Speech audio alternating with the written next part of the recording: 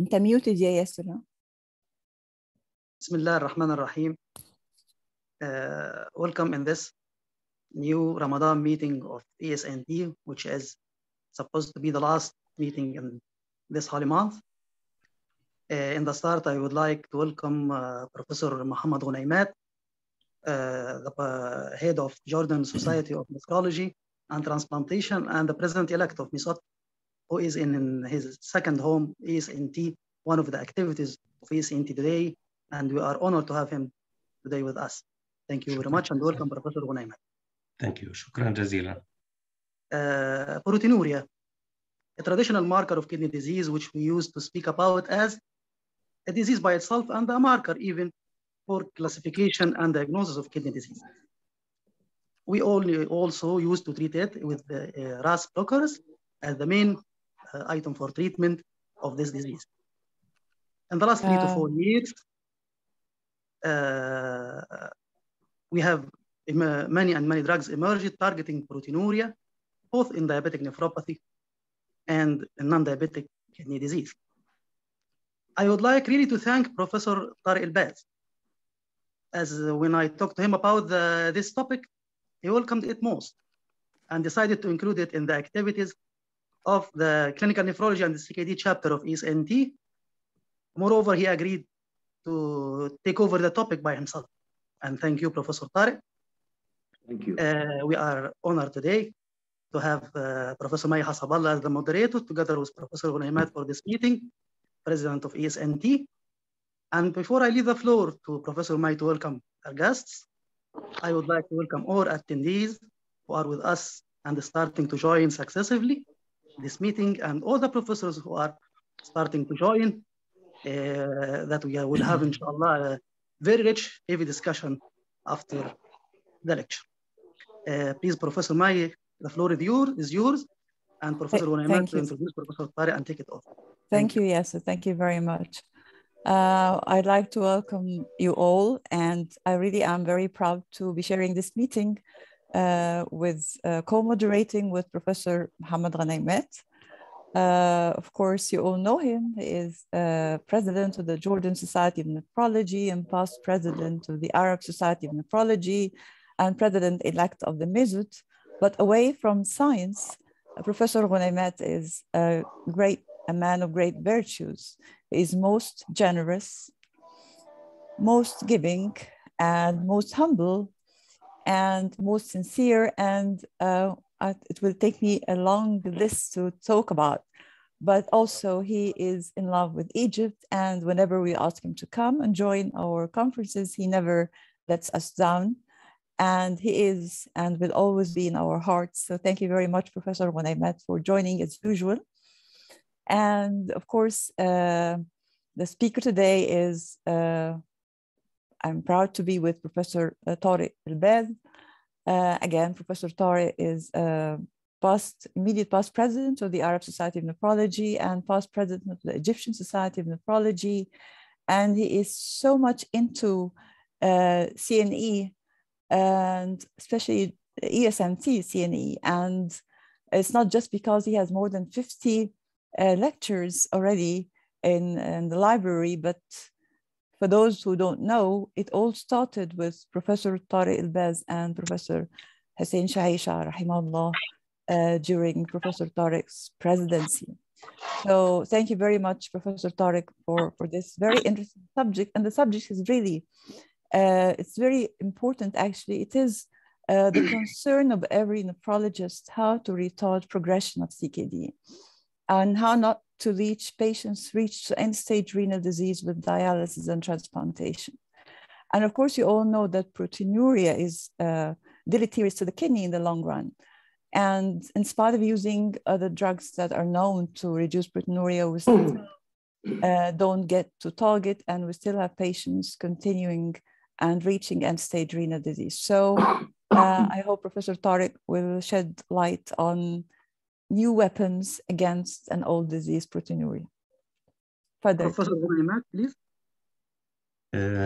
شكرا جزيلا الأخت الغالية والصديقة الدكتورة مي خجلتيني بهذا الإطراء اللي أرجو الله تعالى أن أكون أستحقه شرف كبير لي أني أكون معكم اليوم بسم الله الرحمن الرحيم صلاة والسلام على رسول الله وأسعد الله مساءكم بكل خير رمضان كريم تقبل الله طاعتكم. ولإخواني الأقباط نكست ساندي إيستر كل عام وهم بألف خير. آه، الحقيقة أنه هذا المنتدى العلمي العظيم آه، يعني يشرفني أن أكون معكم اليوم في هذا المساء فيه.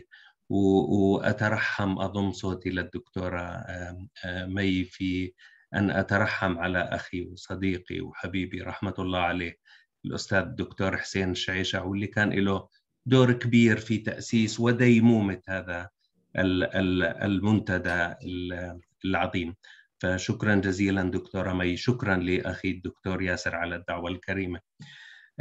محاضرنا اليوم غني عن التعريف كثير صعب أني أحكي عنه.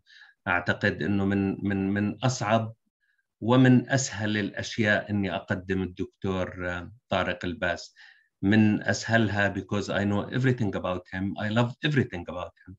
ودائما نستفيد من علمه ونتعلم منه آه، كلى ونتعلم منه إثكس ونتعلم منه أخلاق ونتعلم منه كثير شغلات. ومن أصعب الأشياء أني أقدم الدكتور طارق لأنه whatever I say about him بكون مقصر دائما مقصر دائما بستحق أني أحكي عنه إشي أكثر. آه، فشرف كبير أنه اليوم تتاح لي الفرصة في تقديم آه، أستاذي وأخي وحبيبي ورفيق دربي آه، الأستاذ الدكتور طارق الباز دكتور طارق تفضل. بسم الله الرحمن الرحيم. لساني يعجز عن الرد على الكلام الجميل اللي سمعته. Such flattering words I'm happy tonight. It's one of my happiest nights in Ramadan being with my friends. Really, I'm overwhelmed with joy. And uh, since a long time, I haven't been addressing clinical uh, nephrology. And I'm happy tonight. And, and thank you, Professor Diaz, for giving me this wonderful chance to address this point. I appreciate your time, Professor Ganaimat. appreciate your time and accepting the invitation, Professor Mai. Uh, surely this is going to uh, give uh, this talk uh, a lot of wealth because I know both of you and the other professors, I don't see the names now, that would like to share in the discussion. And to save time, let me start by showing you what I'm going to address today starting by some pathophysiological consideration. Of course, I can talk for an hour about this point, but just a few slides. Then I'll pass on to standards of care therapies and end up by what uh, I have to offer regarding new drugs, or let me say old drugs with new modes of action as well. Just as a reminder uh, about uh, proteinuria uh, we have three different pathways of three different forms of proteinuria, glomerular dysfunction leading to glomeruloproteinuria, or cases of tubular disease, or overflow proteinuria with cases of paraproteinemia. Thanks to the ultrastructure of uh, the, the, capillaries of uh, the Bowman's capsule, as you can see, and those glycocalyx that coat the pores of the endothelial cells that are always repelling large molecules, particularly albumin. Then we have the well-hydrated three layers of the basal membrane, another obstacle, and if eventually the slit pores and the slit diaphragms, and all of which is related to uh, podocin and nephrin and various molecules that give this wonderful structure is in its integrity. Once there is disruption of this integral uh, system, of course, we have a state of proteinuria.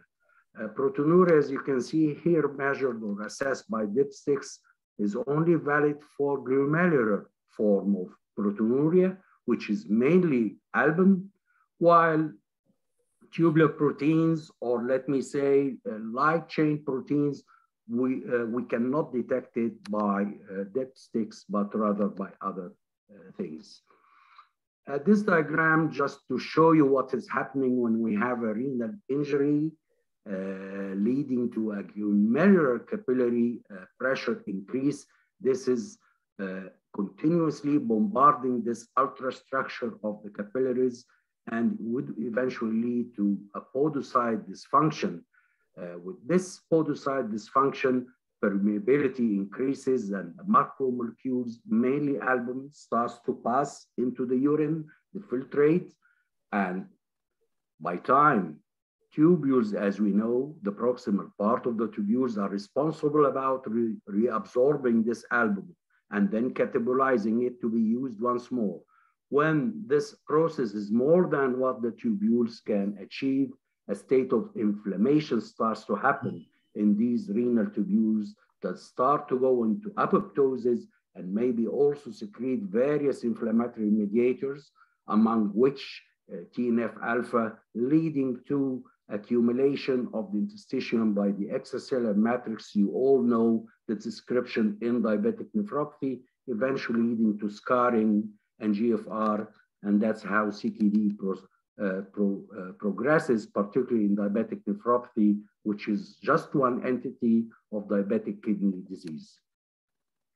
For a long time, and maybe Professor May just mentioned, uh, controlling the blood pressure is important to reduce the albumin. And for many years now, we have been using RAS blockers.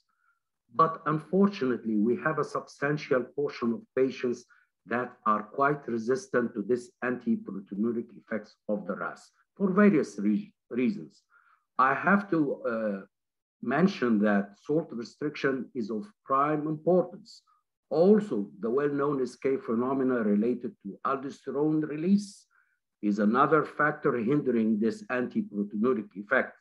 Not to mention what has been mentioned earlier related to uh, genetic poly polymorphism in the angiotensin gene, where the DD allele is known to be poorly responsive to uh, blocking by the RAS blockers, as well as these type of patients are more vulnerable to cardiovascular morbidity.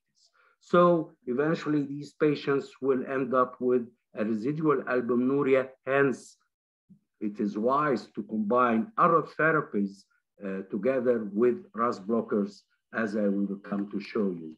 And this takes me directly to the standard of care therapies that we have been using. And before going into details, I'd like to do, remind you that all the trials suggested a multidisciplinary approach focusing on optimizing the metabolic status, particularly hyperglycemia, as well as control of the blood pressure before or together with adding whatever therapies you are going to use. So the standards of care therapies, as you can see underlined here, are RAS blockers, CCBs, and diuretics. For a long time, we've been using the RAS blockers, and we understand that angiotensin 2, which we are aiming at blocking its action, together with aldosterone, are the key players in the development of renal failure due to promoting tissue fibrosis as well as the intrarenal hemodynamics. Therefore, it is quite wise to use RAS blockers in order to prevent the progression of proteinuria and eventually chronic kidney disease. Uh, as a reminder, you can see the untreated patient with both vasoconstriction of the afferent and efferent arterioles.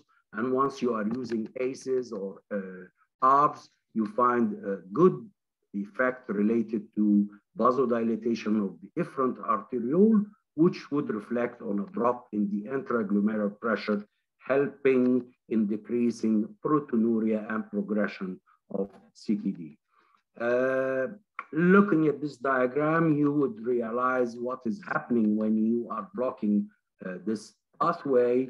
It is resulting in uh, preventing the unwanted actions of angiotensin 2 when it binds to its T1 receptors, such as vasoconstriction and the aldosterone release and the renal sodium resorption. So this is how ACE uh, or ARBs work as a matter of fact leaving the angiotensin 2 to, to give its beneficial effects when it is attached to the T2 receptors, leading to vasodilation and inhibition of uh, cellular growth and apoptosis.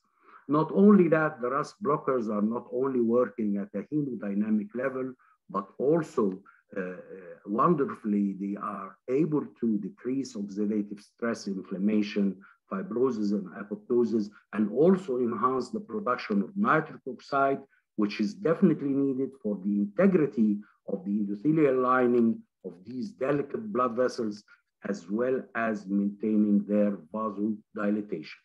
So this is how RAS blockers are helpful. Also, since a long time, we have come to learn that combining both types of drugs, whether the uh, ACE inhibitors or the ARBs, is not recommended at all for fear of uh, adverse side effects, mainly hyperkalemia and sometimes hypotension and AKI. So it is not advised at all to combine both drugs together according to various trials addressing this particular point. Uh, if I take uh, the process further up to the father of the angiotensin, which is renin, we have the aliskiren, uh, which uh, acts as an anti-renin uh, drug. And uh, since a long time ago, uh, was also shown to be very beneficial in reducing proteinuria, even when compared with 10 milligrams of perindopril, as you can see, uh, it was significantly much better in reducing it up to 36% versus the 10 milligrams of perindopril. So here you have another weapon related to the uh, RAS system that you may uh, like to use, although this particular drug has some unwanted side effects that we have learned over uh, the years.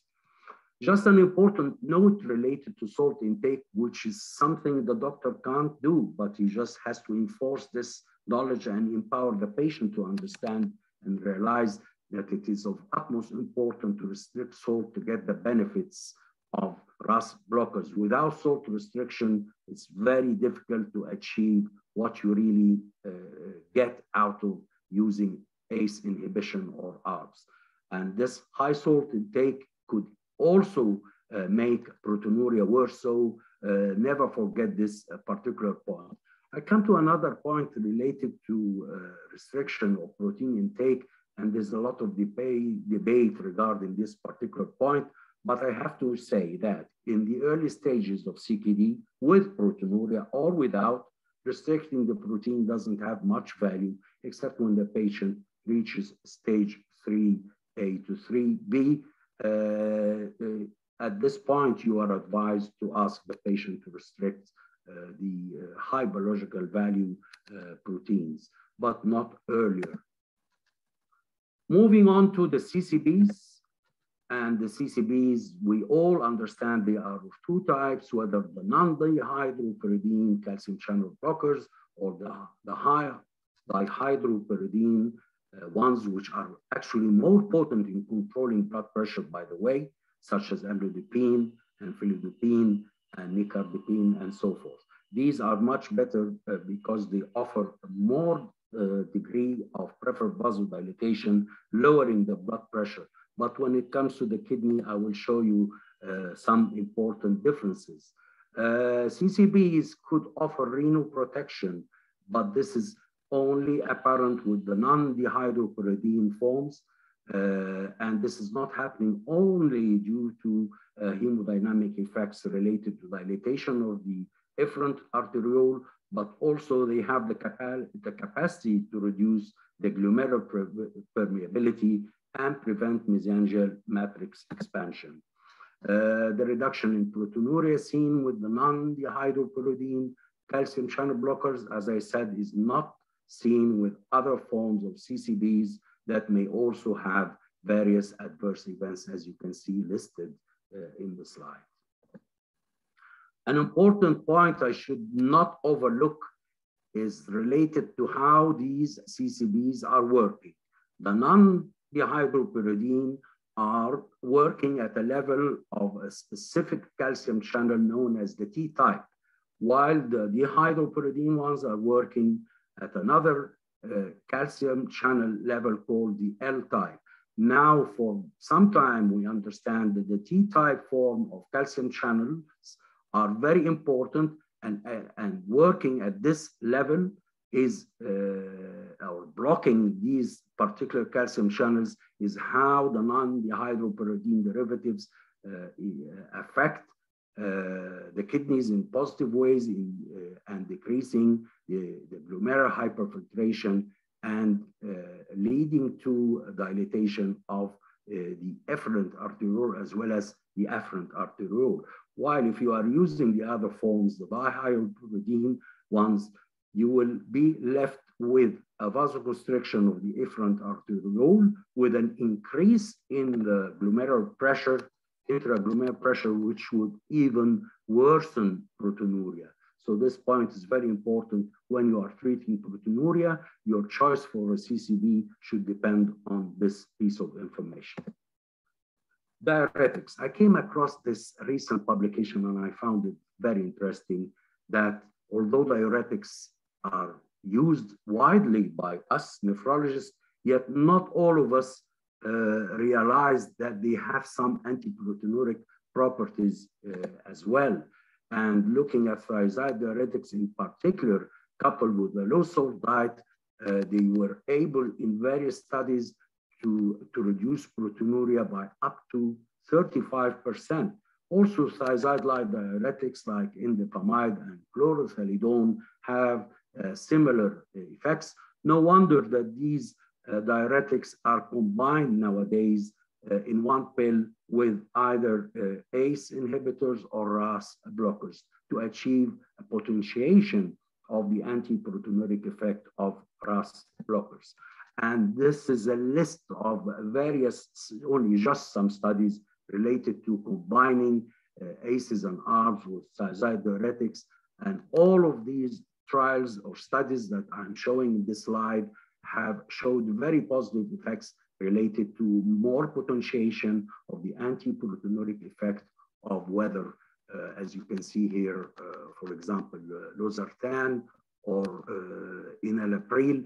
All of this, when you add uh, a small dose of hydrochlorothiazide, you get more and more uh, significant reduction in proteinuria. Uh, this is also valid, by the way, for loop diuretics, and these studies looked into the issue of adding a loop diuretic, which we are inclined sometimes to use in cases of associated edema, which is not uncommon in our proteinuric patients, particularly uh, the diabetics. Uh, we don't have any sharp evidence that thiazides or loop diuretics are capable of lowering proteinuria on their own, but rather it is due their, to their uh, hemodynamic effects in uh, decreasing the interglomerular pressure, which is also dependent so much once more on uh, asking the patient to decrease his dietary salt intake. What I want to say that uh, the exact antiproteinuric effect of thiazides, as I have mentioned, has not been really elucidated. And it is due to the reduction only of the intraglomerular pressure. And I have to caution you when using diuretics uh, in this regard uh, that uh, a patient who's on RAS blockers and using a diuretic, uh, if you are not uh, uh, regularly following him up, it may end up into an acute kidney injury, but this doesn't mean that we don't use a diuretic. We just have to be aware of this possible complication that could happen. Uh, moving to the last part of my talk related to the new drugs and looking at new drugs, I have classified them into all drugs with newer understood mechanisms and the actual new drugs that are uh, uh, present now and we are using to treat proteinuria and even some of them out of the scope of diabetic kidney disease or diabetic nephropathy and have been tried in CKD at large, which is something very, very exciting.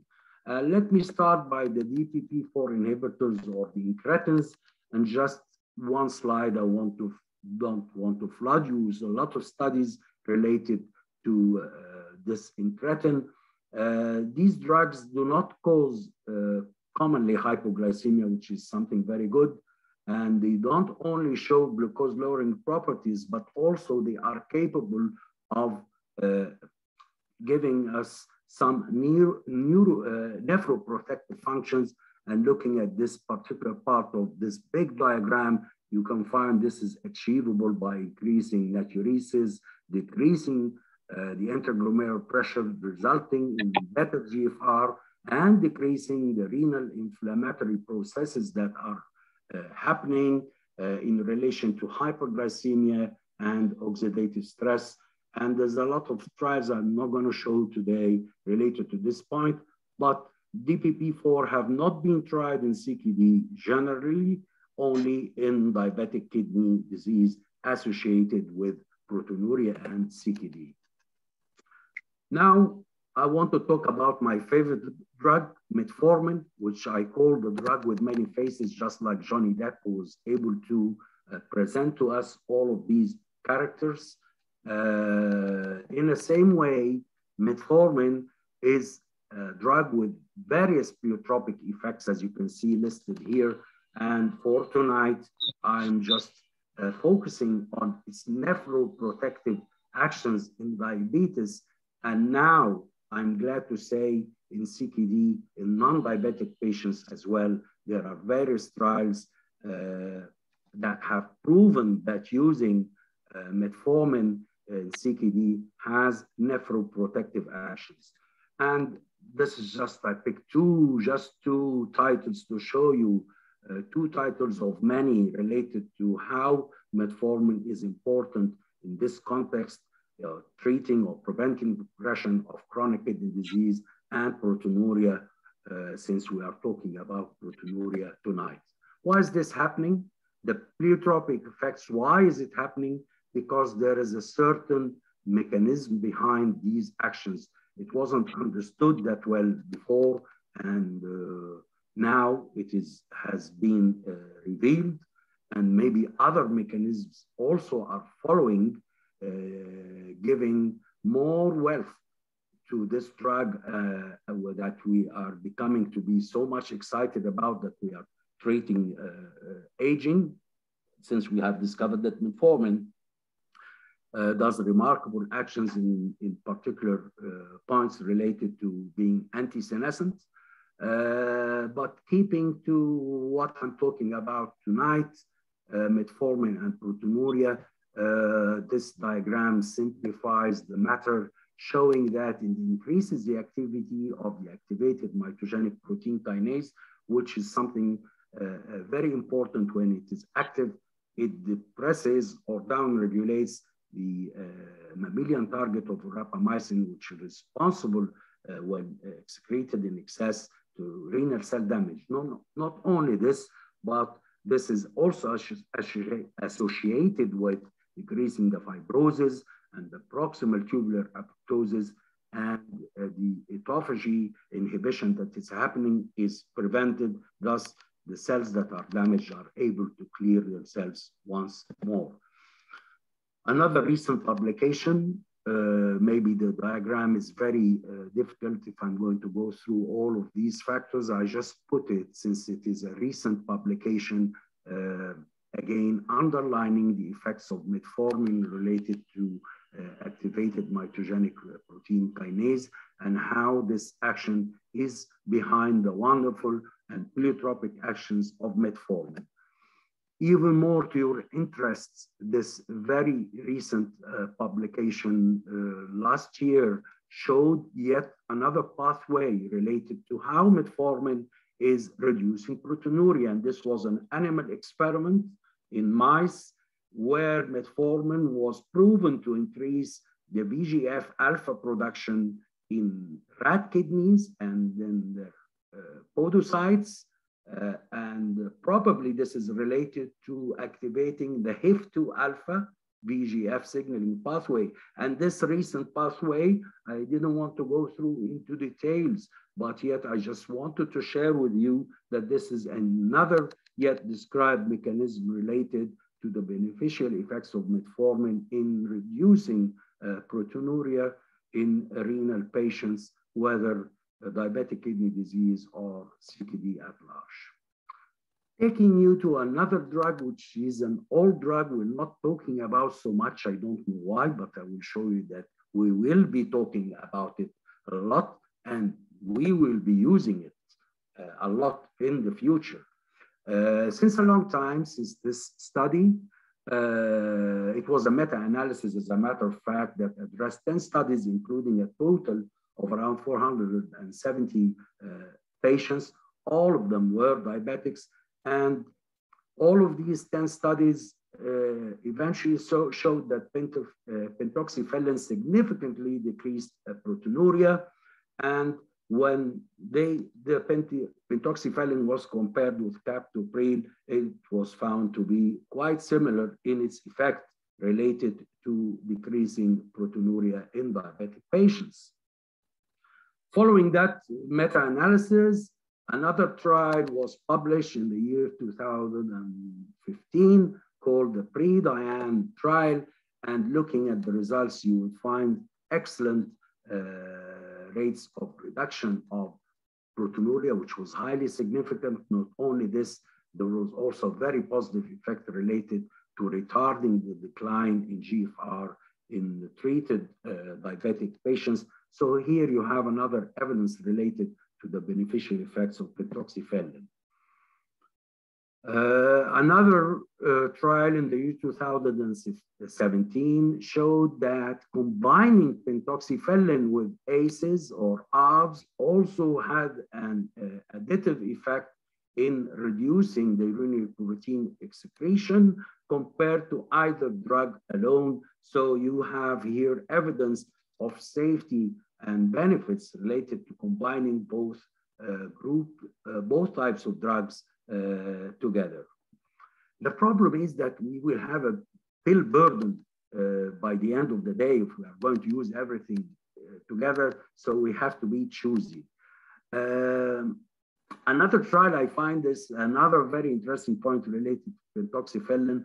Unfortunately, is going to take a very long time. It has been launched last year, and the study aims to enroll 2,500 patients over a four-year period with an additional up to five year period follow up. This is really long and surely, surely the results will be significant. So nine years from now, uh, let's hope to be around to see the results of this uh, trial that would really document the beneficial effects of pentoxifenolin. And now, not just in diabetics, but in patients with CKD uh, as well, not just diabetic kidney disease. another old drug yet has been shown to be very beneficial lately in various recent trials with recent forms of MRAs. And let me just start by reminding you how uh, MRAs are beneficial. Cardiologists have been using it since a very long time for cardiac remodeling. And we understand that once our patients have the escape phenomena, uh, uh, when they are treated with RAS blockers, we have a tendency for the hypertension to be out of control and the continuity of glomerular injury is going on, as well as uh, various uh, actions related to aldosterone in, uh, in, other parts of the body. Uh, this is not my scope of talk today, but rather to show you a little bit in detail what the MRAs are doing in the kidneys uh, related to decreasing fibrosis and mesangial cellular expansion, and even the podocytopathy, which is a very important part related to proteinuria, and also uh, MRAs uh, would enhance uh, the excessive production of nitric oxide, maintaining the integrity of the capillaries, as well as the endothelial lining uh, of the capillaries. So it seems that uh, MRAs are so beneficial. And again, since long time, uh, this trial showed five randomized placebo-controlled trials. Six trials included patients with non-diabetic CKD, uh, and other trials were directed towards diabetic kidney disease patients.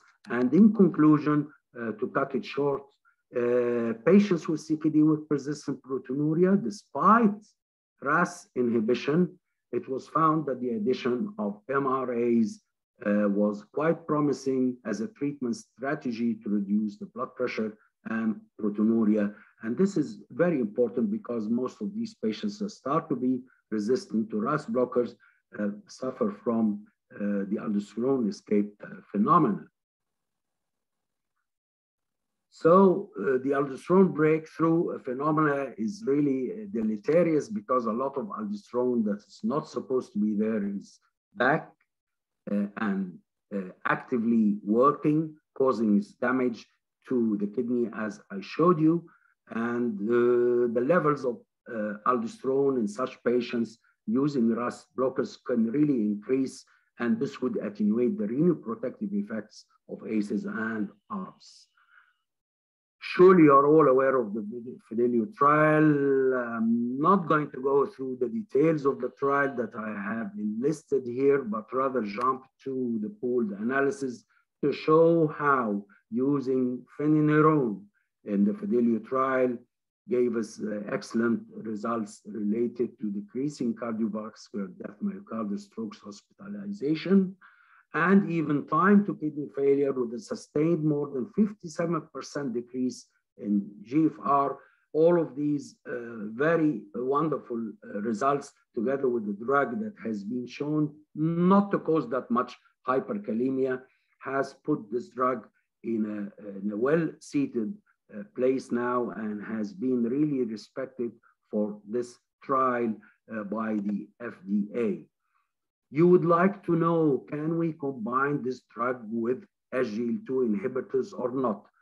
Only a 5% of the patients uh, addressed in both trials, the Fidelio and the Figaro trial that were uh, testing finerenone, um, were already on SGLT2 inhibitors as a standard of care therapy, as well as ACE inhibitors. So we cannot draw conclusions. But further on during this year, a big trial is going to be launched uh, that will address 800 patients uh, with diabetic kidney disease and non-diabetic kidney disease to see if given uh, SGLT2 inhibitors plus placebo compared to uh, finerenone plus placebo uh, and comparing these two groups to the third group where patients would receive both drugs together.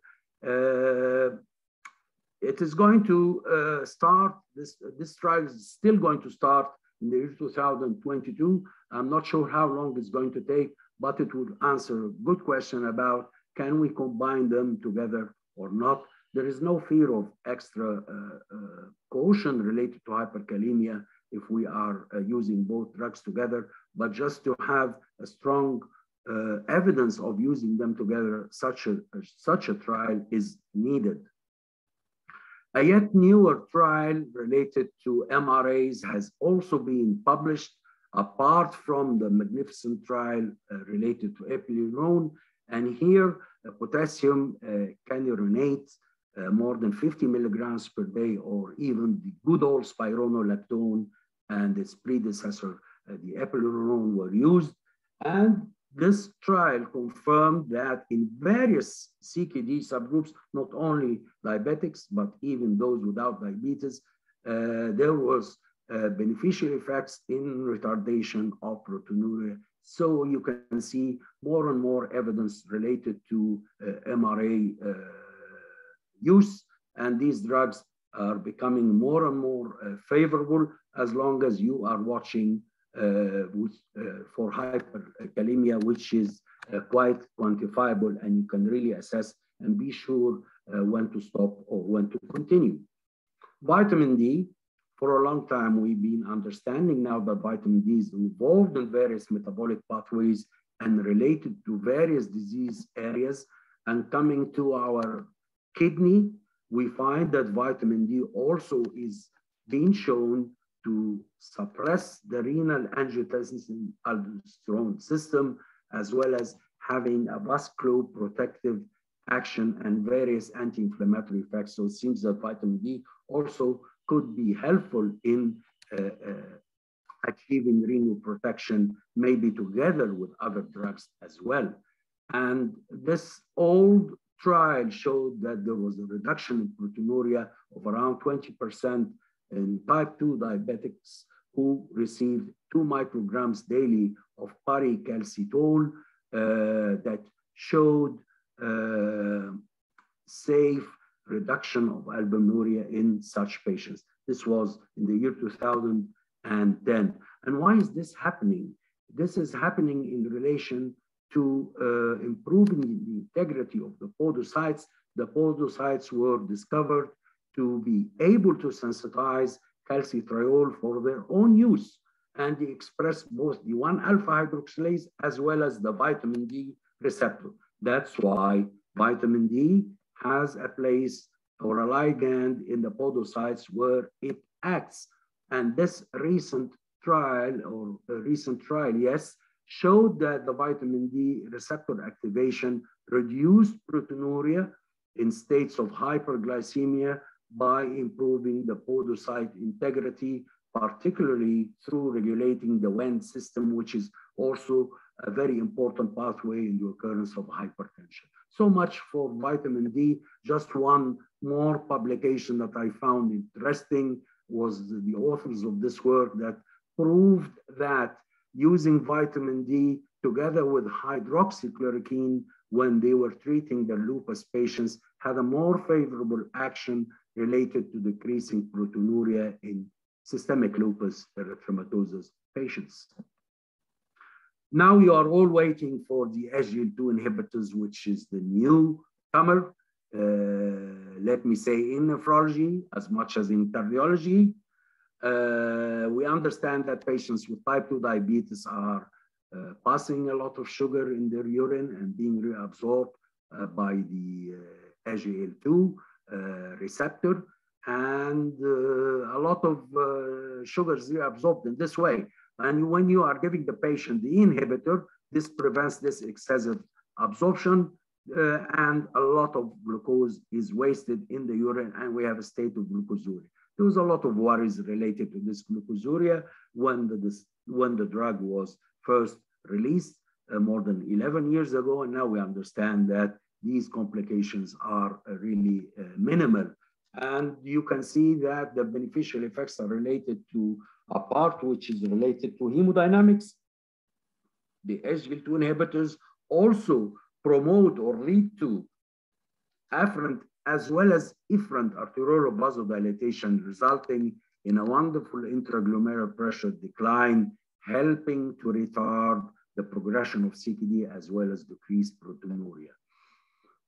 I put the slide always to just as a reminder that the CKD progression is dependent on these main three channels, the hemodynamic pathway, the metabolic pathway, and the inflammatory pathway. And the more you have a drug that is capable of working at these uh, three uh, channels, uh, the more benefits you would get. And this is one example of such a drug, which is the SG2 uh, inhibitor. And you can see clearly and easily described in this uh, diagram how SGLT2 inhibitors do not only affect the hemodynamics of the glomerulus, but they also decrease the oxidative stress as well as the uh, extracellular matrix and definitely have a wonderful effect related to being anti-inflammatory in its actions, uh, decreasing the levels of the adhesion molecules and so forth, and all of which would reflect on attaining a state of uh, lesser glomerular injury and sclerosis, and also a decrease in albuminuria. And the good news, of course, from the recent trials, whether the Credence trial or the DAPA-CKD trial, that these drugs can also be used in non-diabetic CKD, and this has been uh, released and, and documented in various guidelines today and we are uh, not, I don't want to say obliged, but we have all the right now to use these drugs safely in CKD patients, apart from diabetics, uh, whether proteinuric or not, and even up to a GFR of uh, 25, and some are even working with it uh, to lesser degrees than 25 ml per minute. Uh, another recent publication is the EMPEROR EMPEROR trial or the EMPA kidney trial related to empagliflozin. And again, uh, wonderful results were achieved uh, in relation to beneficial effects related to decreasing the proteinuria and prevention of progression of CKD and uh, various endpoints that were addressed. And the study was terminated early because they achieved their targets.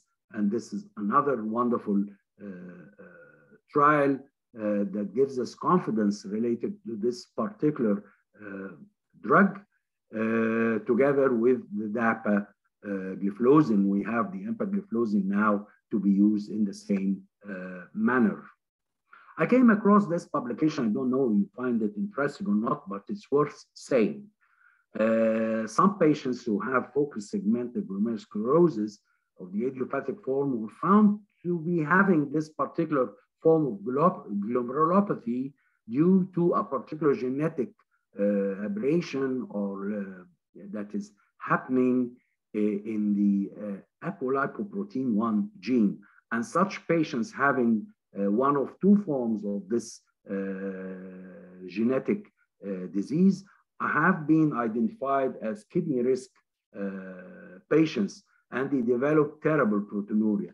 Now, the good news for this particular type of disease, of, of particular type of proteinuria, a new drug which is called oral VX147 is being tested in this uh, subtype of uh, FSGS patients uh, having this genetic uh, mutation in the uh, apolipoprotein 1 gene. And so far, this work showed a reduction in the urine protein by up to 47%, which is rather uh, very high. And this is very good. The patient started with the urine protein, uh, urine protein uh, creatine ratio of 2.2 to end with 1.27, which is a very highly significant result. The last drug I'm addressing today is the other part of the incretin, the GLP-1 agonist, and we have the liraglutide and the once weekly uh, subcutaneously given uh, the long-acting semaglutide and the dulaglutide, and these remarkable drugs have uh, really lately shown to be uh, of benefit, particularly in treating obesity, and now they are recommended to be used and to treat obesity a part of diabetes whatsoever. this is very good. As much as they are of benefits in obesity, also recent trials showed their benefits related to decreasing proteinuria and um, uh, progression of chronic kidney disease, but they have not been tested in CKD patients uh, at large, only uh, in diabetic kidney disease. And you can see here uh, the indirect effects related to improving the blood pressure control, improving left ventricular wall function, and improved microbiome even, which is an interesting point, and the direct effects are related to being anti-inflammatory and decreasing uh, various uh, systemic uh, inflammatory processes that are happening together uh, with uh, leading to uh, intrarenal vasodilation of the efferent arteriole. So another new drug, which is the GLP-1 agonist, is with us in our armamentarium to treat our patients. Uh, I hope I haven't been um, talking uh, for a long time. And by this slide, I'd like to thank you all and waiting for your wonderful input. Thank you again, Mrs. and Mr. Chair persons and Professor Yasser for the kind invitation. Thank you all. Thank you very Thank much. You. Uh, very well done, uh, uh, Professor Tariq.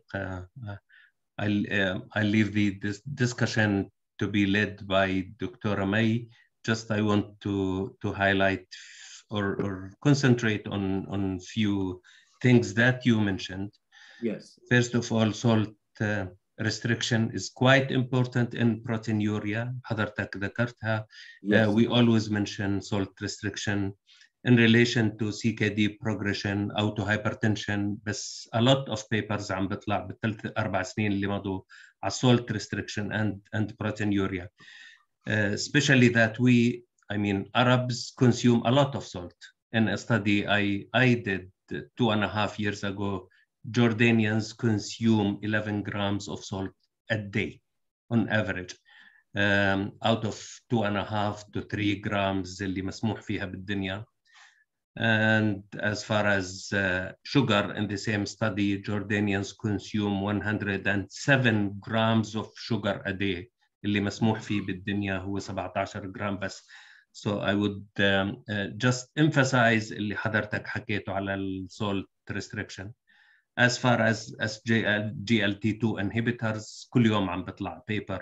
آخر وحدة أعتقد قبل ثلاث أسابيع end of March كانت um, um, بال um, I think nephrology, dialysis and transplantation NDT. Um, and um, the title can um, could SGLT2 inhibitors be a game changer in focal segmental glomerulosclerosis?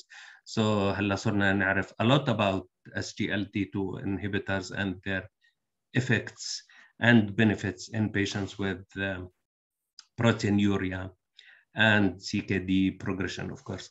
Uh, الشيء الأخير just a comment على ال combination of RAS inhibitors دول consensus من 2013-2014 بأنه we should not but we still in selected patients الحقيقة uh, I do ما بعرف هي النقاش مفتوح uh, I do combine sometimes um, um, RAS inhibitors together in selected patients, of course, with uh, uh, with uh, follow-up, careful uh, follow-up.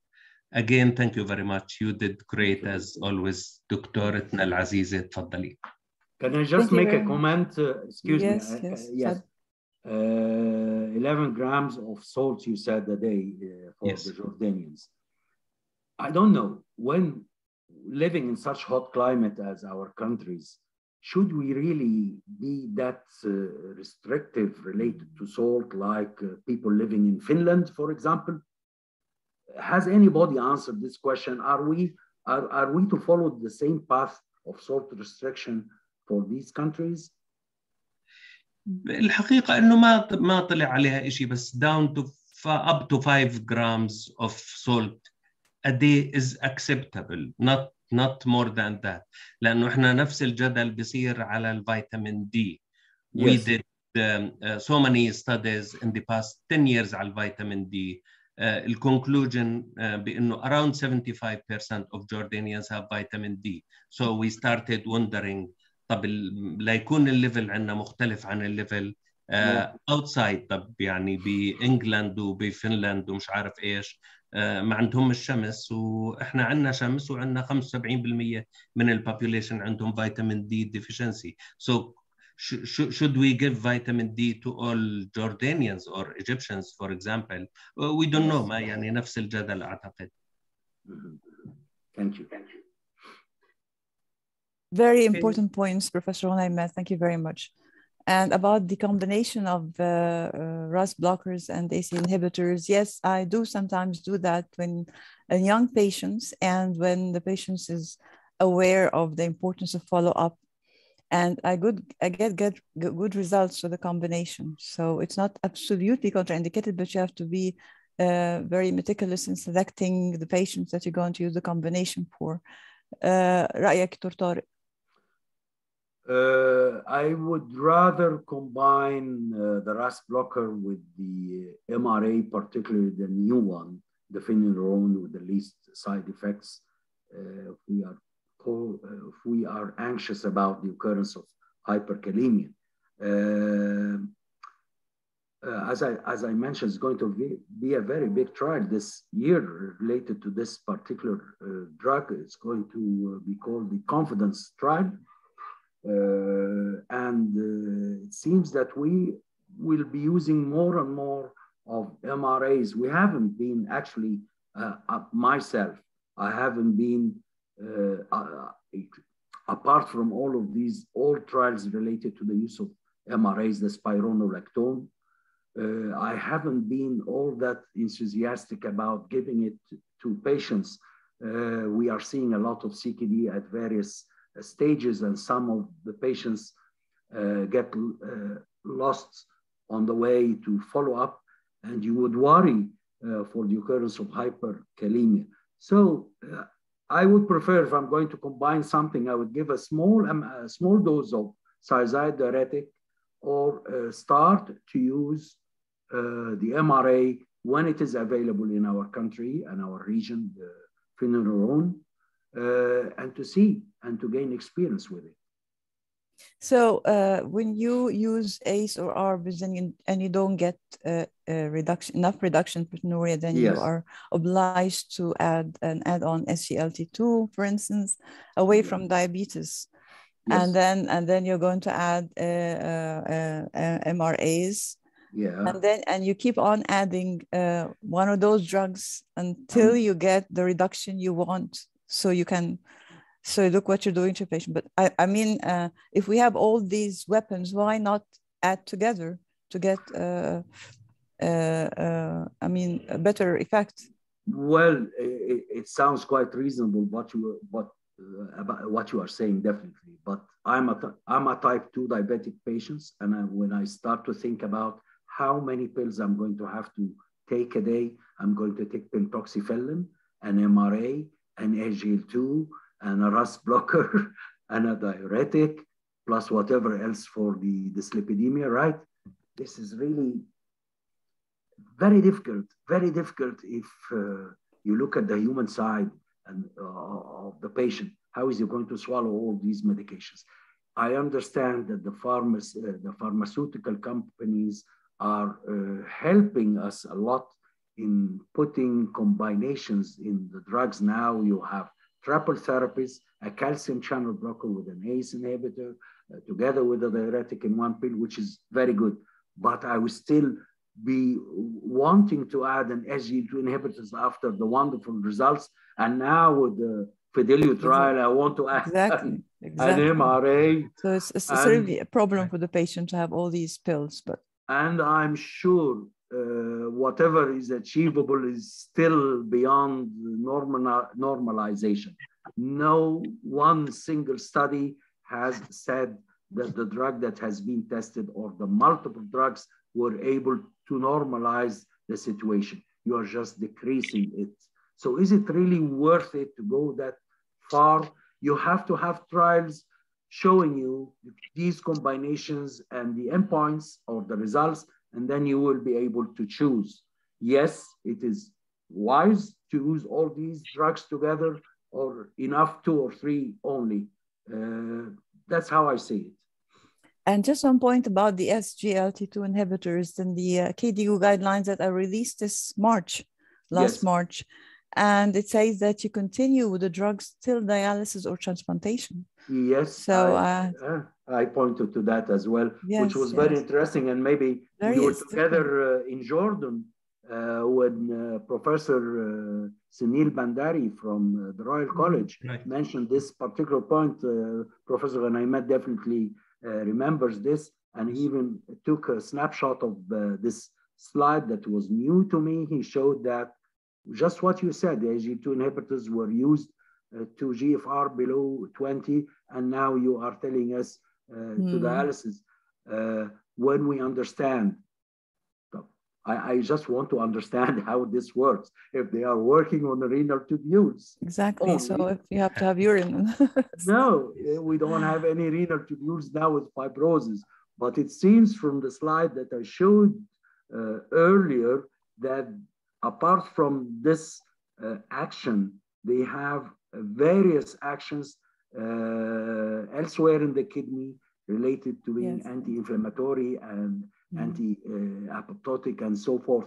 So maybe these benefits uh, are working when the GFR is low, so not depending about the traditional pathway that we understand. Just like metformin in the beginning was used to treat diabetes and it's improving insulin resistance and so forth. And now we understand that we can use it in this and that and that and that through different mechanisms. So like Professor Ghunaymat just mentioned, uh, every, uh, every now and then, we are discovering new benefits and new pathways for these uh, new drugs that uh, I think SGLT2 inhibitors sit aside now uh, together with RAS blockers. The, the, second best thing that happened since. The discovery of RAS blockers. I, I, believe so, particularly that we are able to use them now freely. And I was discussing this a few months away uh, back with Professor Iriasif. Yes. I told him after that the DAPA CKD trial, I am prescribing these drugs for CKD and don't be uh, uh, uh, amazed or astonished when you see one of my prescriptions for a non-diabetic patients. And I'm giving them freely now with GFR that is as low as 30, but I haven't been using it for less than that yet. Okay. Excuse me, Professor May, uh, uh, Professor Tarek, uh, correct me if I am wrong. I feel that the role of non-dihydropyridine calcium channel blocker is much underestimating in treating proteinuria. For me, I use it as a second weapon in uh, if, if ACE inhibitors or ARBs cannot be used or somewhat cause some, some problems. The second line for me will, is non-dihydropyridine calcium channel blockers. Do you agree with me of this or can I agree totally with you and they can be used in combination as yes. well as for those patients who are not tolerant to the ACEs or ARBs or developing hyperkalemia. Yes, they do have a wonderful antiproteinuric effect. I don't know why it's not that uh, famous. This, yes, With all the trials that showed it is uh, effective. It is I effective. always ask myself this question. Yeah. So are you you are using what type? Dilet, diltiazem, for example, in yes. particular? Diltiazem. Yes. But uh, maybe, I tell you why. Maybe because uh, most of these patients are uh, uh severely hypertensive, and these non-hydropyridines are not that uh, potent when it comes to treating hypertension, not as potent as the older ones. Maybe that's why people are not using them that much, but definitely they have a beneficial effect when it comes to proteinuria. But if you have to choose a, a, a CCB uh, among the dihydropyridines, I think the lercanidipine is uh, more potent because of its effect on the receptor, on the on the T receptor than the others. Exactly, exactly. But I'm not aware of if, if you compare it to the non-dihydropyridine, which is going to be more potent. Uh, I'm not aware of specific trials for this, but lercanidipine in particular, maybe I haven't showed anything, any publications related to lercanidipine, but it is working on the T uh, calcium uh, channel, which is needed for the efferent uh, vasodilator, yeah. dilatory effect, which is not happening with the other CCBs working on the other type of calcium channel. We have Dr. Ayman Rifai, if you, معنا Dr. Ayman, if you'd like to comment. Thank you, Professor Ma'am. I'm really enjoying uh, since the first moment of the lecture by Professor Tare and the fruitful discussion, uh, which reflects a lot of experience from the moderators and uh, Professor Tare. Um, uh, I'm just wondering about treatment of the refractory proteinuria. Um, in spite of all these agents, whether old and new, we still have a problem of refractory proteinuria. So, uh, what what's your recommendation, Professor Tai, regarding these cases that's interactable to all these measures and all these combinations? Uh, are we going to for uh, medical nephrectomy, or sometimes proteinuria is is very resilient uh, in treatment actually especially of those of glomerular lesions, uh, of course, and those interactable to treatment, especially focal segmental and membranous uh, nephropathy. So what's your recommendation for? As well as amyloid kidneys, we see. Yes, yeah. Uh, for amyloidosis, we, we sometimes we, we do bilateral embolization. Exactly. To, yeah, exactly. To, to, to, so uh, this is that I'm worried about the, the heavy proteinuria with the severe hypoalbuminemia and the uh, this kind of uh, challenge. What do you I think, wouldn't, Professor? I wouldn't agree less uh, with what you said. It just reminds me of those uh, severely hypertensive patients that do not fit into uh, any uh, specific disease such as endocrine form of hypertension or the rare renal vascular uh, uh, hypertension, those type of patients that are receiving six lines and still out of control. You meet those patients occasionally, of course. You have tried all what you have and still they are hypertensive. I really don't know what to do with those patients, really. And I'm always uh, so uh, feeling so bad that I can't help them more as much as those proteinuric patients. So may, maybe the embolizations that you have been uh, talking about, I, ha I have no experience in this uh, particular uh, modality or therapy uh, at all, but I'm aware that it could be helpful in this group of patients. If, if you have any experience about it, could you tell us, is it, is it working? Is it helpful? Have you done it? Actually, sometimes we did it in uh, preparation prior to transplantation. We have a oh. severe proteinuria and the patient even is uh, preemptive with uh, GFR around 30 and creatinine is 4 or something. So we are going to transplant this patient with, with heavy proteinuria and hypoalbuminemia we go mm-hmm. for embolization or uh, even uh, nephrectomy. But this is uh, we are when we are planning to have a kidney transplant. Only. Uh, Only. Yeah, okay. yeah. This is our experience actually. Okay, but Professor, it's a big you... challenge, especially post-transplant with, with, with, the recurrence. We the cases uh, with mm-hmm. recurrent focal segmental and yes. MPGN type two uh, proteinuria is heavy, hypoalbuminemia, in spite of all measures, frequent plasma exchange, rituximab, and whatever. And so uh, we have uh, some patients with uh, proteinuria like 20 gram per day and albumin around two and uh, severe uh, edema and anasarca. And this is a big challenge actually for it is, these. It is, it is. I, I don't think anybody is capable of dealing with these patients in a different way than what you have uh, been uh, mentioning. They will always be difficult for uh, all nephrologists everywhere. Uh, yes. No one is really uh, finding a specific uh, therapy for such patients. There must be an underlying mechanism that is not understood. why these antiproteinuric drugs that are working uh, for some patients, they are not working. Uh, for this type of patients, is it related to some genetic uh, possible disease, just like the polymorphism of the of angiotensin could be another genetic polymorphism for other things uh, could be, could be, because it's the same drug. It, it affects a particular patient, another another patient uh, does not respond. It's just a speculation. I may be right, I may be wrong. I don't know.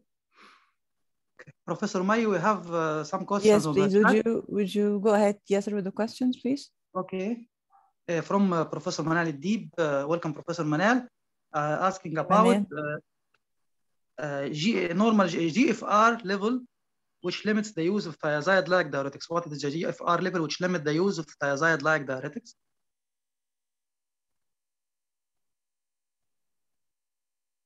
Professor Tara, would you like to answer Professor that? Tara? No, go like ahead, Dr. May. Go ahead, Professor May. Uh, I think uh, it, it used to be 30, but then uh, yes. there are other opinions that it you can use it below that, but as add-on therapy, not just as alone. You can still use it as an add-on therapy. So uh, I don't know if anybody has uh, different views. This is what we all. Uh, I think would agree. Like this. Mm -hmm. Yes. The problem is with diuretics, when you start to use them in CKD patients, you don't get the diuretic response you expect. That's why you are using larger, bigger doses than uh, you would be using to treat uh, uh edema uh, elsewhere. And we are all, all aware of this uh, point, and we are giving uh, large doses of loop diuretics. I don't know much about thiazide diuretics in this regard, but uh, when we are treating a patient with terrible edema, I guess all of us are using large doses. We used to worry about uh, the ototoxicity, which I didn't come across over more than 40 years of practice uh, except once. And I wasn't really sure it was related to furosemide or not. Uh, otherwise, with thiazide, I'm not so sure uh, Professor Manal, uh, particular GFR to be. Uh, we have uh, Rola Osmani. She's saying that uh, metolazone can be used with the less GFR. Yes, this is true. Yeah, it's Yeah. good. Mhm. I think the problem that we cannot use, uh, it's always combined with other uh, drugs. We don't have a specific uh, thiazide tablet that we can uh, g- control the GFR for its use. We usually use uh, in combination with other drugs that are controlled also by GFR. Mhm. And also, when you use different diuretics that work at different sites, you, you add on the benefit of the use of diuretics. So, Uh, Uh, some- from some uh, related to diuretics, something that uh, uh, some of us may miss is the short a- duration of action of diuretics. So if you really get a good response, you should give it over the, all the 24 hours, uh, whether in tablet form over six hours or intravenously. Uh, both methods have been shown to be more or less uh, equal uh, in response, but not to give, let's say, uh, uh, 500 milligrams of furosemide once a day and expect to get the best response, but rather better to divide the dose. And combination, like I think Yasser or yourself just mentioned, is good because uh, these diuretics are working at different uh, levels of the, the renal tubules. Some are working at the level of the distal convoluted tubules, others working uh, further up. So combining these diuretics together uh, has proven also to be very effective, particularly in those patients with uh, advancing stages of CKD. uh, we have went through this question of our um, um, uh, coordinator today about the combination, Rami Abu Bakr, about the combination of uh, ACE and ARBs, and we have discussed this point early yeah. from uh, Rahman Sheikh. Which type among ACE inhibitors and ARBs are the most potent regarding effect? Would you please mute your mic? He is asking about which is of the ACE inhibitors or ARBs is the most potent in combating proteinuria, if there is. يعني اعتقد انه last year nice guidelines uh, قطعوا الشك باليقين and Mm. they said use the cheapest ف they do not prefer لا ACE ولا ARB ما في واحد. فيهم احسن من الثاني استعمل الارخص فما يعني بكل الداتا اللي طلعت conflicting يعني ما فيها اي دليل على انه ال ARBs احسن أو الايس احسن كلهم زي بعض Yeah. He is asking also about your experience uh, regarding uh, which uh, which type of uh, uh, investigations to use in uh, quantification of proteinuria, ACR, PCR, PCR or 24-hour urine proteins. أعتقد الفرق بينهم 5% كلهم مش أكثر من 5% so whatever you like استعمل كلنا هلا بنستعمل بروتين كرياتينين ريشيو أو البومين كرياتينين ريشيو ونادرا ما نستعمل 24 اور يورين كولكشن ما لقينا عملية ما بعرف Uh, الدكتور طارق may- عنده رأي. yeah, أو maybe الدكتورة uh, مي. uh, مش مش عملي but I would regard it still as the gold standard. Uh, urinary albumin creatine ratio also is uh, what we depend upon. We have to just realize the important facts. If a patient is dehydrated, you would expect the protein to be uh, more. If he has been exercising, uh, these facts are very important. The timing of the sample is another important point yet recommendations are now to use it is, is much more easier, of course. And uh, the fallacies that have been described with the 24 hour are far more, far much more than one could imagine, and you could really affect the results. So I would stick to using the renal albumin creatine ratio, just like Professor Laimat uh, mentioned. Uh, Professor Faisal, Amr, Professor Dr. Amr, Okay, Dr. Amr is uh, raising his hand, but Professor Faisal Shaheen wants to comment and he's unmuted. اهلا دكتور فيصل دي حضرتك اهلا اهلا دكتورة مي اهلا يا فيصل كيفك؟ I, I, I enjoyed uh, the talk of uh, uh, Prof. Tariq as usual. Thank you. He's Thank you, sir. Thank you. and he like metformin also like me. So Oh, yeah. I like it and I take it. He's in love with metformin yes, he love metformin. So uh, actually, there is all what you said is excellent because this is a new in nephrology. We don't have tools before to treat proteinuria. We don't have tools to to deal with the cardiorenal. We we don't have tools with diabetic. Now we start to have something to play with it and to work with it. Uh, I enjoy uh, all the talk, and it is really excellent and a very informative talk. And this is a new in, in, in nephrology. Thank you very much. Thank you for choosing the talk and choosing the speaker as well. Thank you for being with us and for your comments. Thank you so much. Thank you. Professor uh, Amr uh, Husseini from the States.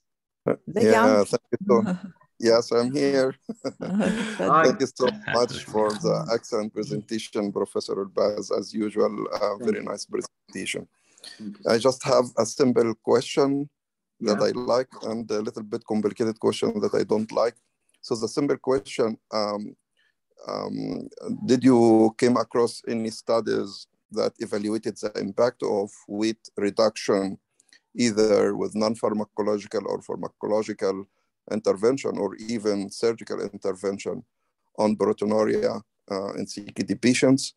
Uh, because I hate just to add medicine on top of medicine. Now we are talking about, you know, putting, adding this SGLT2 inhibitors and adding mineral corticoid inhibitors in, in, in drinking water for everybody, right? They are expensive medication, as we know, and they are Yeah. not uh, free of side effects.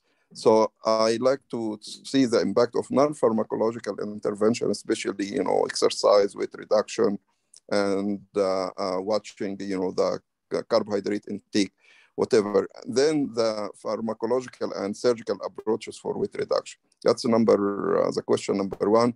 The other question, I don't know if um, uh, also you came across any uh, impact of endothelin uh, receptor blockade, especially Yeah, the sure. newer one, the selective endothelin A receptor antagonist on uh, proteinuria. And thank you so much.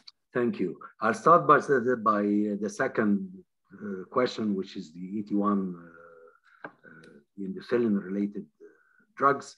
Um, I haven't came across this recent trial that you uh, have uh, been mentioning, but the old trials are all at experimental levels. And as a matter of fact, the endothelin blockers that I read about, all of them showed uh, some unwanted uh, adverse events such as uh, water retention and so forth. And they are not really uh, having uh, all that uh, much of benefit compared to the drugs that I have addressed today. Maybe the new one that you are talking about, which I haven't came across, maybe has avoided these adverse events. Regarding to your first question, which is you say it is the easy one, for me, I find that it is the difficult one. I, I have no idea. All I know that uh, eating a healthy diet and living a healthy uh, lifestyle and eating less and exercising is good. Is good for the human being, good for the general health, maybe good for proteinuria, good for the eyesight, good for everything. I haven't came across any trials, as a matter of fact, related to the effect of exercise on proteinuria. But what I understand is exercise does increase proteinuria. Uh, does it increase it in a pathological fashion or just a transitory state? Uh, I don't. I don't know. I really don't know about dieting, and I wouldn't advise patients with proteinuria and good kidney functions to start a low protein diet, for example. Uh, no, uh, nothing in the literature uh, mentioned this particular point.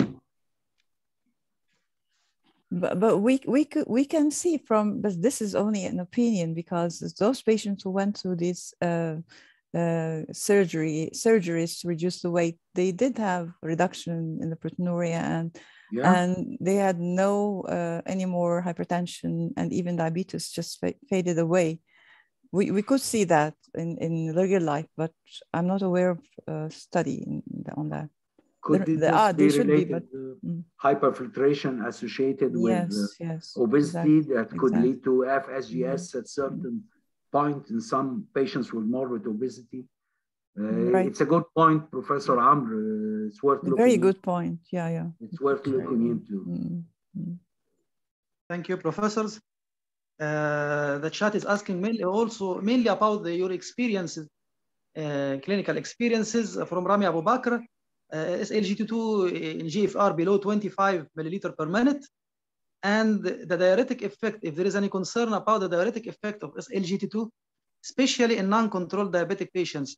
Something, is it something I should worry about before prescribing these groups of patients?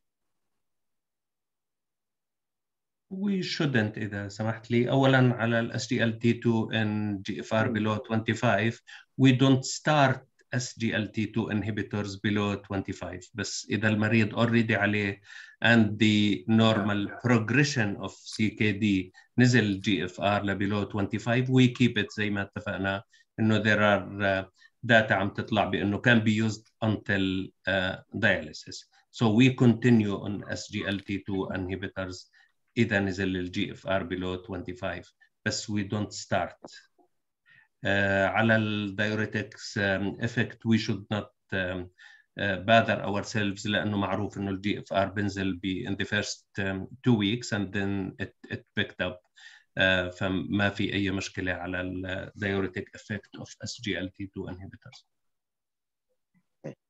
Professor Manalit Deep is against the use of CCP in proteinuria when ACE inhibitor is contraindicated. Uh, she said that from her experience, it is not so effective. This is a comment from Professor It's, it's not as effective, but it will have 100%. some effect. So definitely it's not as Yeah. effective. Yeah, it's not as effective يعني كل الداتا اللي طلعت على ال CCPs بانه they reduce proteinuria something between 8 and 17%. So ما بنحكي عن 35 و 40% زي ما بنحكي عن الراس inhibitors بس. اذا كانت the only tool yes we use it يعني. حتى 10% is is is okay. Mhm. Yep. Better than nothing. Mm. Uh, أنا في إلي نعم. آه، سؤال أخير ما بعرف للدكتور طارق آه، وللدكتورة مي أو للكل. So um, uh, do we treat proteinuria in an otherwise uh, healthy and asymptomatic patient? مريض ما عندهوش ولا إشي نوت دايابيتيك نوت هايبرتنسيف مش اوبيز ولا عنده كوليسترول ولا عنده شيء وطلع عنده بروتين يوريا آه، طبعا هاي كانت الكونكلوجنز من الانهانس 3 اف يو ريمبر طلع 5.6% of healthy Americans they do have proteinuria فكان عليها صراع كبير بأمريكا على إنه should we treat ولا لا واحد سلم بجنن ما عندهوش لا سكر ولا ضغط ولا كوليسترول ولا عنده اي شيء do we treat دكتوره مي دكتور طارق Uh, uh, how uh, big is the proteinuria? Is it say something more يعني in the كلنا instance? كلنا بنتفق على انه less than 1 40. جرام غالبا we don't treat suppose انه. 2 grams مثلا 2 can and a be half it grams can be two grams, more than up to two grams. yeah I up remember- to آه. فما بعرف آه، I think it, I think we monitor the patient, and if we find out that it is rising, uh, the trend is that it is rising. I think we can add something like uh, MRAs, for instance. And I think this is a, the, the practice even in uh, membranous, benign membranous with heavier proteinuria levels than this. So it is wise to just monitor and keep eye on the patient in this case. دكتور آه. طارق لك راي اخر I, I have to I have to um, try to uh, find the cause. It's impossible to have a proteinuria without a cause. And if this proteinuria is albuminuria, then we are faced with glomerular injury. So there is a incipient or un, a hidden uh, glomerular disease. Uh, I understand that there are cases of what we call isolated proteinuria that are not associated with an active urinary sediment. And this isolated form of proteinuria is again related to podocytopathy. So there has to be a disease behind uh, this proteinuria. I can't understand that even if he is a seemingly healthy person, uh, I, I look as healthy person as a person that has not does not have protein in urine. Once he has protein in urine uh, above uh, 300 milligrams, uh, uh, 30 milligrams, he has what we used to call microalbuminuria. There is a cause for that. Is he hypertensive? Is he having an ischemic heart disease? Where did this proteinuria come from? Why is it happening? هدول they were they were investigated fully وما كان ما قدروا يوصلوا لسبب يعني lately بس ال ASN um, if you remember بجوز الكل بتذكر إنه they agreed that we should treat يعني أنا بحكي عن personal experience بس هو بامريكا كان الاتفاق على إنه we should treat اللي yeah. وقفوا بوجههم هم شركات التأمين لأنه 5.6% بتحكي عن 30 مليون شركات تامين بدهم تدفعوا لهم يدفعوا لهم فلوس تكلفه علاج فور لايف سو بس كان الكونسنسس بامريكا انه انه we should treat حتى We لو totally healthy uh, uh, persons. It, it's really it's something that we we meet. Yes, this kind of person with proteinuria, not very heavy proteinuria, but you cannot find a reason for, and you investigate it, you don't find the reason. Yes. Right. I would actually treat because I understand that proteinuria is quite injurious to the kidney and Right. leads to pro- and leads to injury. So it is common sense to treat this proteinuria, even if I cannot find the cause. And I, I'm doing just what Professor May uh, uh, just mentioned. I came across a few patients during my career, not so many, that I exhausted myself to try to find the cause and I didn't like to biopsy patients, such patients. I didn't find strong indications to do that. And it ended up by giving them an ACE inhibitors. And two of the five patients that I have seen after a couple of years with ACE therapy, they had uh, this total disappearance of their uh, albumin, which was in the levels of microalbuminuria uh, Mhm. in the beginning. Uh, Professor Said Khamis wants to comment. He is waiting for us a long time. Professor Said. وينه سعيد، إحنا إحنا بنحب. نشوفه يا سعيد بيك موجود. ما نقدرش نخليه يستنى دكتور يعني سعيد بس لا أنا شفت على الفيسبوك إنه صار مدير كبير إشي فبطل يبين صورته شكله. هو عايز كده واعي أمنية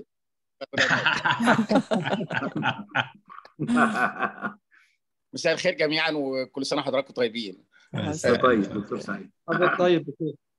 Thank you, Professor Tarek, for this elegant uh, and comprehensive uh, presentation as usual. Thank you, my friend. Uh, one question, if you allow me, uh, regarding Please. the, it seems to be a delicate question, but it is a challenging and never-ending debate about this issue. If you have a patient with proteinuria and the progressive CKD, and I mean progressive decline of uh, kidney function, and they reached the stage of uh, 3B or uh, 4, and still he's on ACE or ARBs or whatever, uh, would you prefer to stop ACE or ARBs at this moment or not? So, and, and the question in another way, uh, when we stop, we should stop this ACE or ARBs uh, when there is a rapid decline or progressive decline of uh, GFR. Thank you so much. Well, if I'm going to answer this uh, very nice question, uh, Professor Said, I, I know how disappointing this type of patient is, the one that you are doing everything for, and still he is uh, progressing. And you are asking a clear question Should I stop uh, the ACE uh, or the RAS blockade uh, at this point of therapy or not? Then I have to ask myself uh, is there a specific situation that implies that I have to stop the, the RAS or just assuming that it's not doing much, uh, then I better stop it. Uh, I'm afraid to say in such a patient, maybe this uh, progression could be even more if you stop the RAS without a strong indication. Yes, he's progressing, but maybe this progressing can be even worse if he's not under the influence of the RAS blockers, except if there is a compelling indication to stop it. So uh, even or, uh, the results are disappointing with, with, treating such a patient that we meet uh, not uncommonly, I wouldn't stop the RAS blockers, Dr. Said, as long as uh, there's no compelling indication. If someone else has another suggestion especially on in in diabetic patients يعني ولا في اي excuse to stop in diabetic patients الا اذا hyperkalemia مثلا اما otherwise uh, not at all yes uh, thank you very much for the answers yes i i do believe that and if you stop it uh, the creatinine will go down a little bit then it will come up higher than it sure. used to be right Uh, maybe I stop it only when I decide that this patient is for dialysis. So yeah. we, we, we stop it then, but otherwise, no. Okay, thank. Except if you are going to continue using uh, the RAS blocker to treat hypertension, because it's the best drug right. to give to a right. patient on dialysis. Yes, yes. Thank you so much. Thank you. there are no more questions from the audience uh, بدي أشارك الدكتور uh, طارق uh, حماسه للميتفورمين yeah, حوالي. شهر شهر ونص طلع بيبر جميلة على إنه it reduces mortality by 31% in patients with diabetes and hyperlipidemia, especially on statins. Wonderful. This is a wonderful. 31% reduction. بعتها له على طول ابعتها لي النبي الله يعمل بعتها له على طول So 31% reduction in آه. mortality, which is, أنا اقوم اخد القرصين بتوعي دلوقتي. أعتقد إنه الميتفورمين لازم يصير ينحط بمية الشرب عندنا يعني لازم. كل الناس يأخذوا ميتفورمين yeah, ننزل وزن كمان شوي بعد ال- القطايف ومش عارف إيش ورمضان Oh yeah. Oh yeah. If you allow me, I, يعني I uh, thank you, Professor Anamat, for raising this issue, Professor Tariq, of metformin. And sometimes we call it the great metformin. يعني في diabetologists عندنا بيحبوا يسموه metformin العظيم العظيم لأنه كل يوم بيطلع حاجة جديدة عن الميتفورمين. And, and, and now uh, I'm supervised uh, um, uh, an MD thesis about the uh, use of combination between metformin and uh, SGLT2 inhibitors in two arms, uh, diabetic and non-diabetic kidney disease. And I think with, with, with the use of metformin with the uh, even with the uh, GFR uh, up to as you know that metformin now it's it's permissible to be uh, given with the with the declining uh, or uh, or CKD uh, three or five or four, uh, and the uh, the fear of lactic acidosis, uh, I think, is regressing now, and we can use it more liberally in, in such patients. So I believe that we can we can benefit from the combination of SGLT2 and metformin even in uh, non-diabetic uh, kidney diseases. So uh, I'm totally supporting the use of metformin. I share you the these feelings. Thank you. Has anyone been using it lately um, in the management, early management of autosomal dominant polycystic kidney disease after the various trials in this regard? اعتقد من ثلاث سنوات أو أكثر I've been Yes. using it من ثلاث أربع سنوات Mm. و quite good number of patients اعتقد عندي Mm. 60 ولا 65 patients ماشيين عليه and they're doing great Uh, yes, uh, and, and it's it's better to have a control group in such patients, uh, Dr. Onaymat, to to to see that uh, uh, يعني, what's the case without the metformin. So uh, I think in such uh, trials we should have a, a control arm. Without Already trials have been published in this regard by uh, Mm. this uh, right uh, design. but uh, it's and, uh, encouraging, of course. Yeah, yeah. If you look, Professor, we, we, have two more questions in the chat. We have two more questions. The chat asking and about. And Professor Ali Ta is raising his hand. Yes, yes, yes. And Professor Tariq Tantawi also is waiting us. Okay. Uh, uh asking about uh, the, uh, your experience in uh, using uh, potassium exchange resins when combining ACE and ARBs. And the second or the last question about the use of ARBs in single kidney.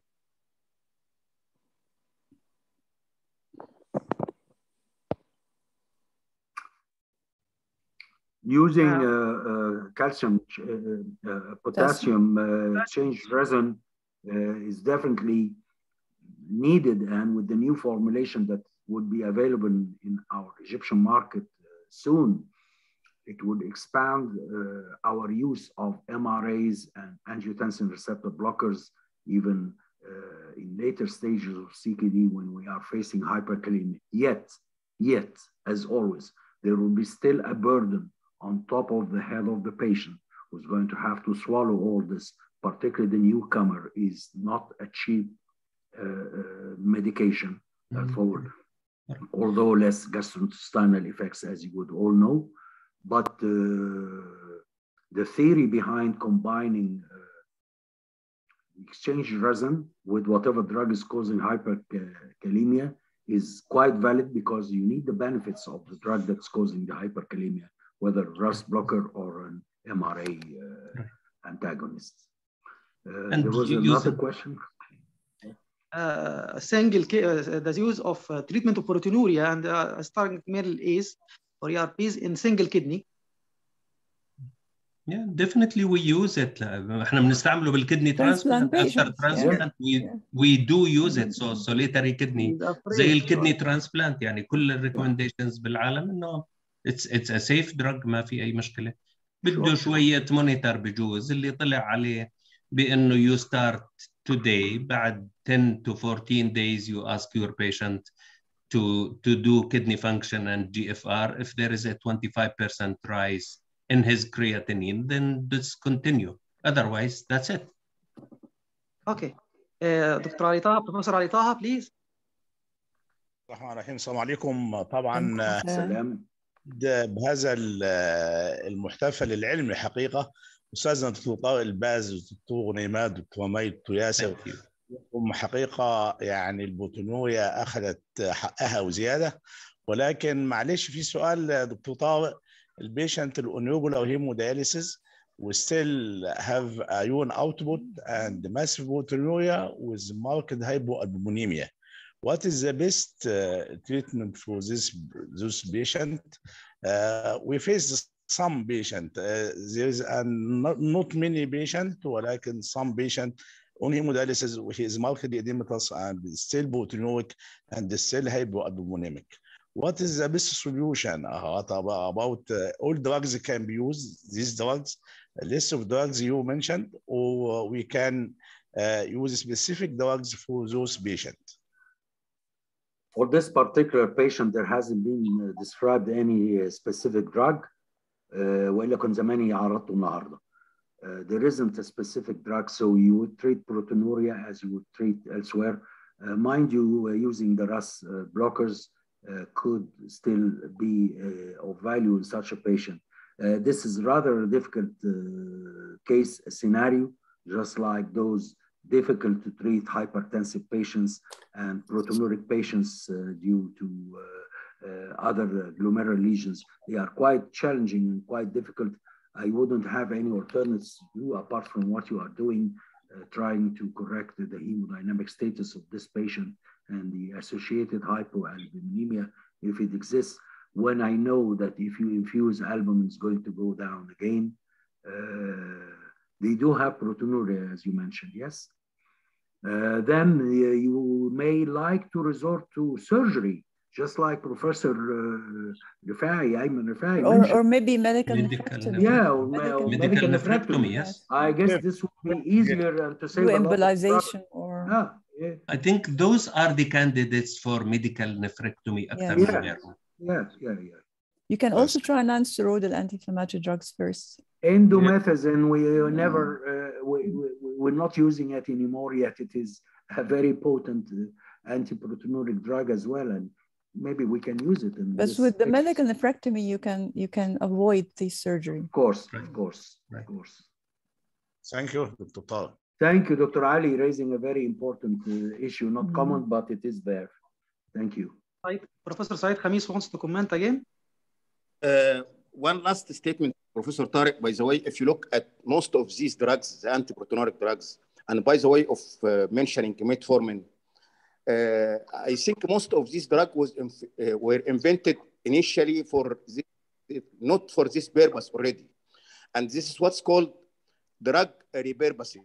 And I'm now preparing uh, one presentation regarding uh, drug repurposing in nephrology. I mean, in proteinuric or non-proteinuric patients. Good, I think good. it's uh, very important to domain this this issue. This is the repurposing, uh, repositioning of drugs after uh, better understanding of various mechanisms related to this drug.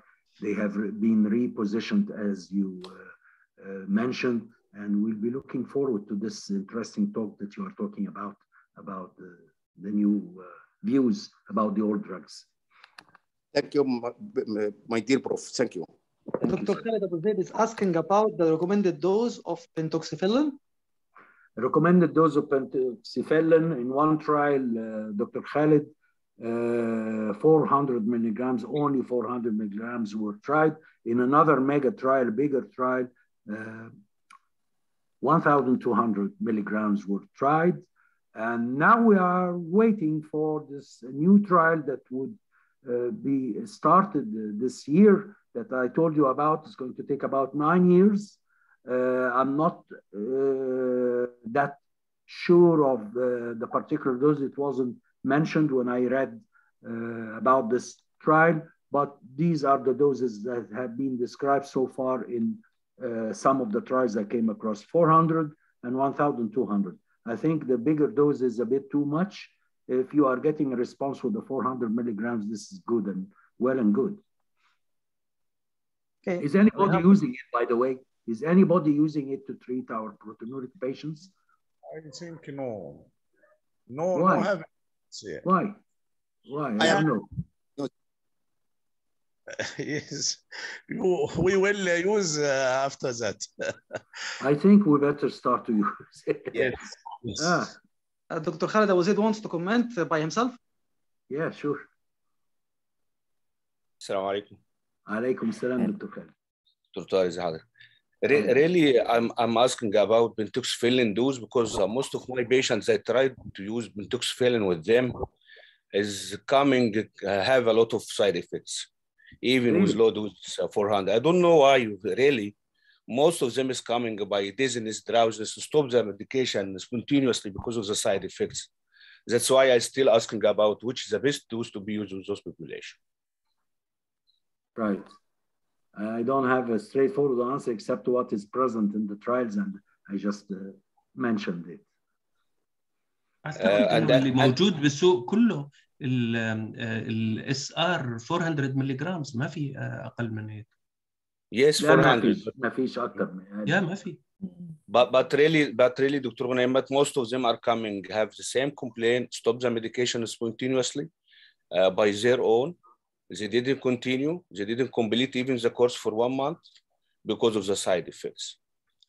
Oh, uh, I don't know why. Uh, most of them, I used maybe since about one year, I started to use uh, pentoxifylline in proteinuric population, especially in diabetics but I don't know why they have, uh, most of them have the same side effect. Uh, and I have a comment. Yeah. I have a comment as regards the combination of metformin and SGLT inhibitor. Uh, really, it's a very yani, uh, powerful and very fantastic medication to be used, uh, even for uh, cardioprotective, renoprotective, antiproteinuric, a lot of benefits. But I think we have to always recommend our patient especially in case of sepsis and dehydration, to stop this medication spontaneously to avoid mala uh, uh, metformin associated lactic acidosis and the euglycemic ketoacidosis associated with those combination. It is fatal because actually I have four cases reported this year.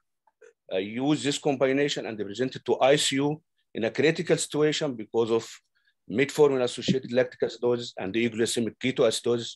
And actually, they take a long time to be recovered from this complication. That's why I ha- we have to recommend to be in a tail of any recommendation as regards this combination for any patient, especially in sepsis and dehydration. And I add to uh, what you say regarding individualized therapy, uh, patients with uh, HFrEF advanced uh, heart failure with reduced ejection fraction, these type of patients, septic patients, of course, uh, we don't see lactic acidosis, but if you are going to give metformin to such types of patients that you have mentioned, you are inviting uh, lactic acidosis definitely in such patients.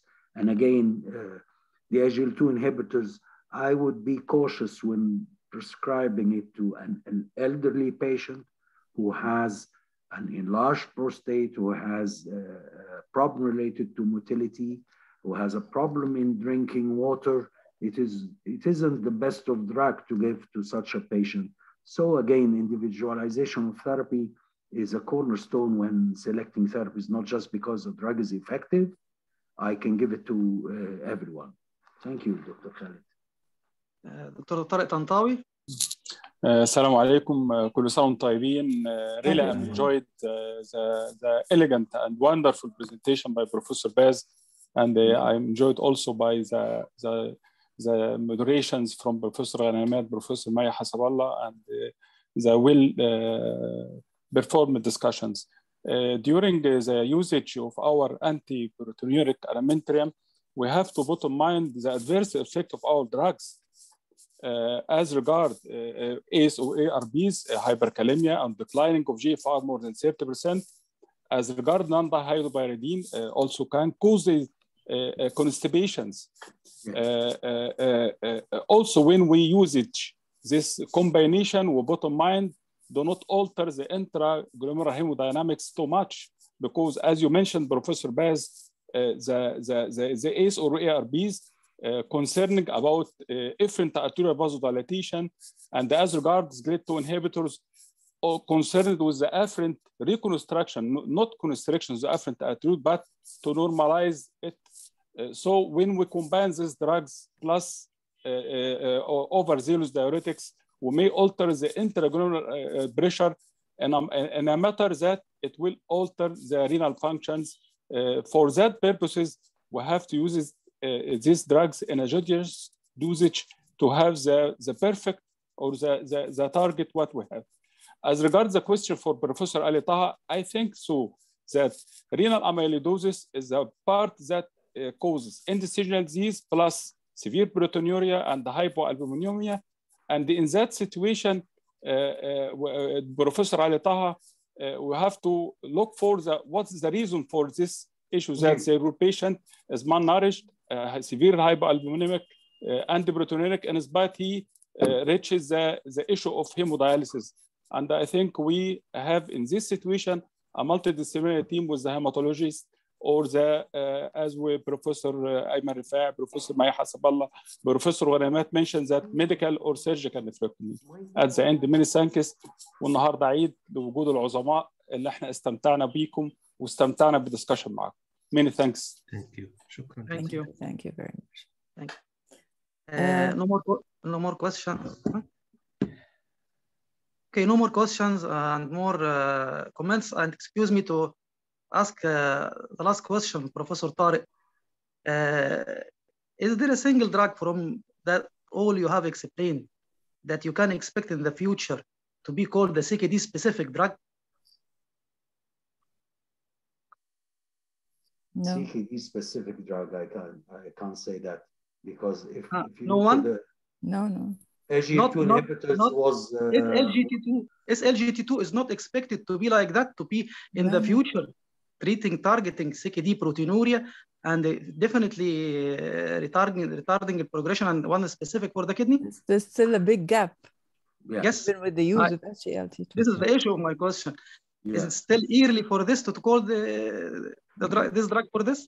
And to be honest, the breakthrough الوحيدة اللي so far صارت بتاريخ البروتينيوريا والكدنس هي الراس انهبيترز Yes, still, يعني still in the top of that. ف... كثير early انه نحكي على الاس جي ال تي 2 inhibitors مع انهم very promising drugs بس 20 بريك. ثرو كانت الراس inhibitors بدون جدال 20 Ah. years of trials directed to this particular point with the RAS blockers. Uh, we just have to wait for some time for the SGL2 in the same uh, in the same regard. But I still say it's the second best thing that happened uh, after RAS Blockers in yes, the SGI. Yeah, in Egypt. Second yes. best thing. Yes. Okay. Professor Mai, Professor Ghunaymat, we have no more questions and no more comments. Thank you. And I, I thank you all. I really enjoyed the night tonight. Yes, very and, nice. Uh, I'd like to thank you all, the Professor Ghunaymat, Professor Tore, and you. all the attendees. Really, uh, يعني بجد, uh, thank you very much. Thank you very much. شكرا جزيلا للجميع. شكرا دكتور طارق استمتعنا بمحاضرتك وبالدسكشن كالعادة. وكل عام وأنتم بألف خير. ربنا يعيدوا عليك وعلى مصر بالصحة والسلام إن شاء الله تعالى. على كل فيصل. نايس سينج يو كل عام وانت بألف خير حبيبي أبو محمد. Uh, Thank you. thank you all. Thank you, Professor Tariq Elbaz, for this highly elegant lecture. Thank you, Professor Mai, Professor Ghuna- for moderating this very, very, very, very fruitful discussion. Thank you, uh, all professors who attended and shared in the discussion. Professor Ayman Rifai, Saeed Khamis, Ali Taha, Tariq Tantawi. Uh, thank you for all atten- attendees who shared and uh, enriched this discussion with their continuous and continuous questions. And excuse me to close this very rich night and last one in Ramadan. Uh, كل سنة وحضراتكم طيبين and uh, hope to meet you in, uh, بعد العيد إن شاء الله our first meeting which will be in 11 May by May and I will announce later on after Eid and hope you a very nice vacation and for for Eid and last 10 days of Ramadan uh, thank you uh, كل you. وحضراتكم طيبين. وتصبحوا على خير والسلام عليكم ورحمة الله وبركاته